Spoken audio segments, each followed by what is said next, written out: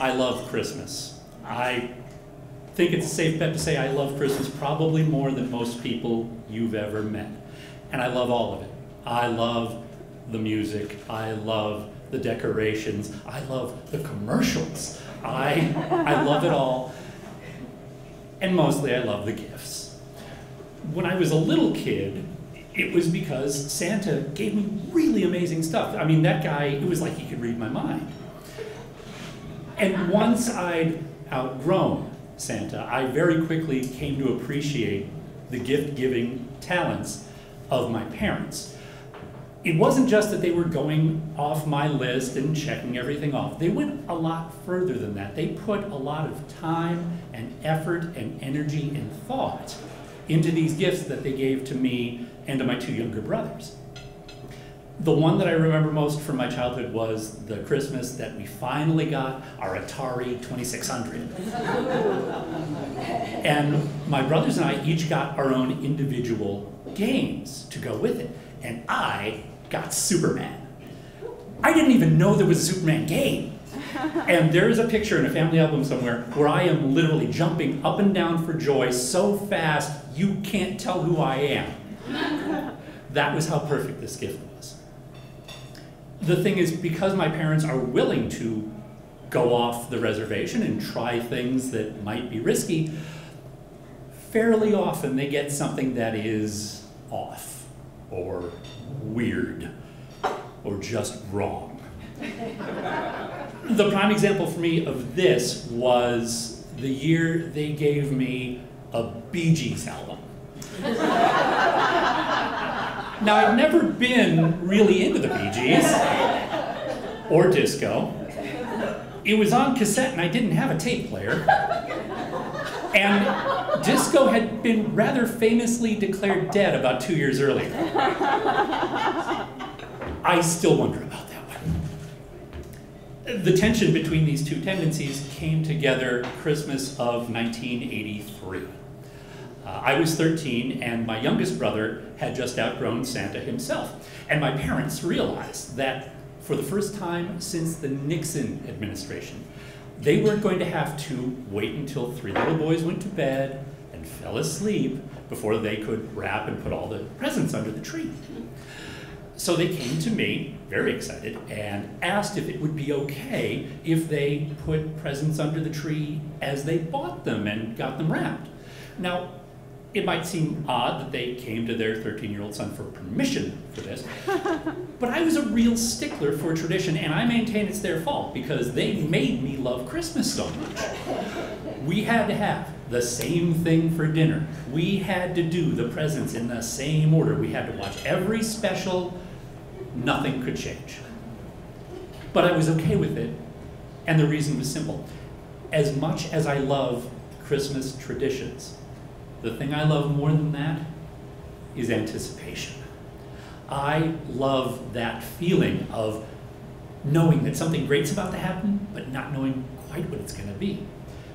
So I said, sure, no problem, because I figured I would have days or weeks of just getting to sit and feel and hold and shake my presents and just imagine what they'd be.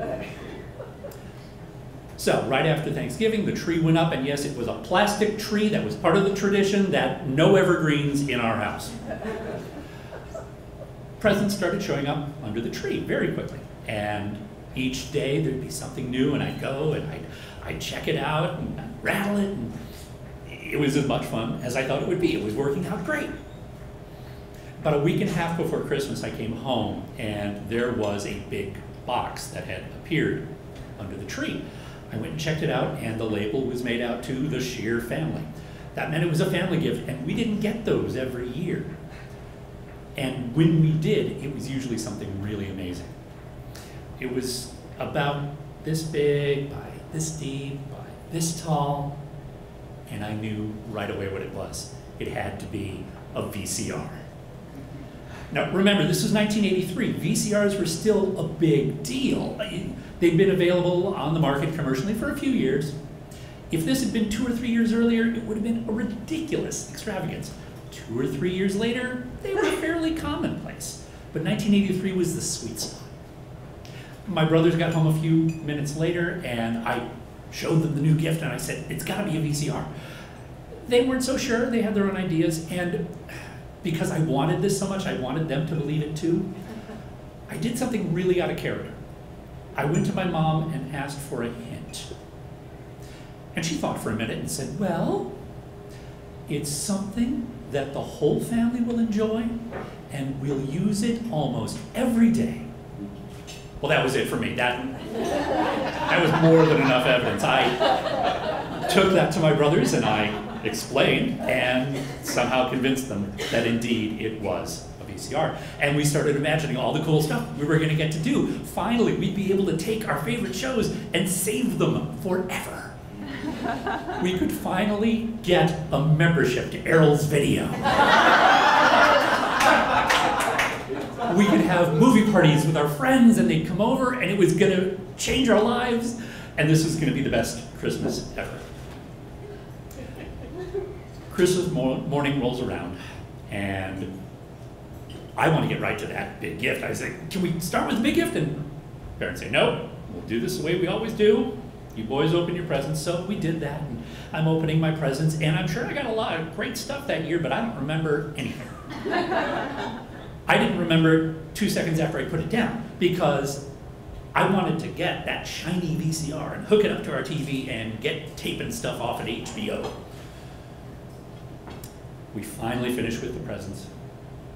I think my mother knew how tough this was for me to wait because she asked my dad if he'd make her a cup of tea. Once she'd gotten that, she said, all right, boys, go ahead and open the big gift. So I dove under the tree and dragged that thing out in the middle of the living room.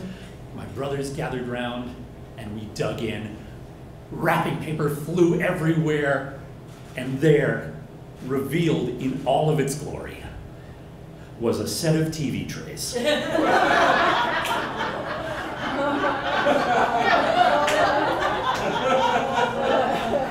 TV trays for three boys. Um, we just stared at each other in shock. I, I, didn't even know what to think. I, I, I, thought maybe it was a joke.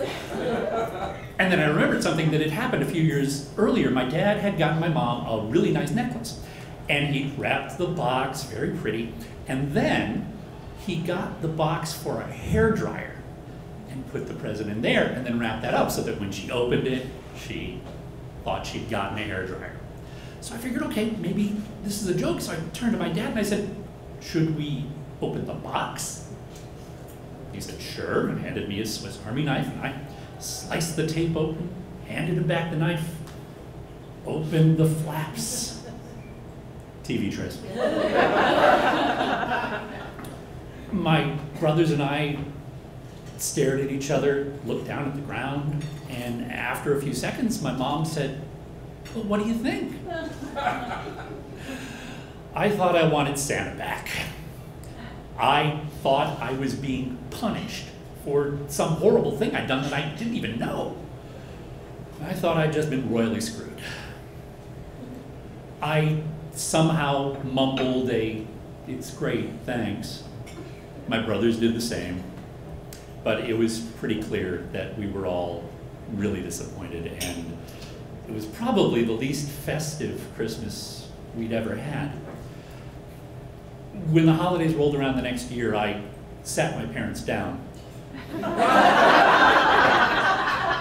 I told them in no uncertain terms was a single present to appear beneath that tree before Christmas Eve.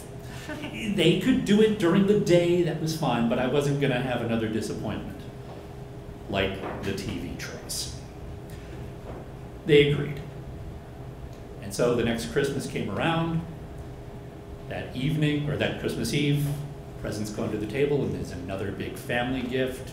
I don't even look at it. But this time it was a VCR. and my brothers and I were overjoyed to this day, I still don't know if my parents were maybe playing a long con on us. that maybe they really wanted to make sure we appreciated this expensive piece of sophisticated technology.